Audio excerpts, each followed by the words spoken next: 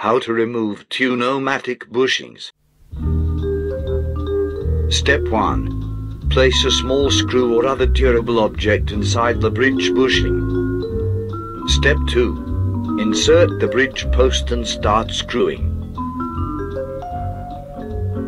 Screw like you never screwed before.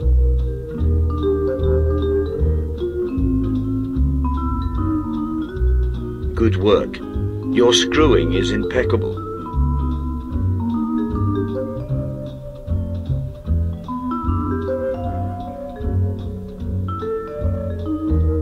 Step 3. Enjoy your handiwork.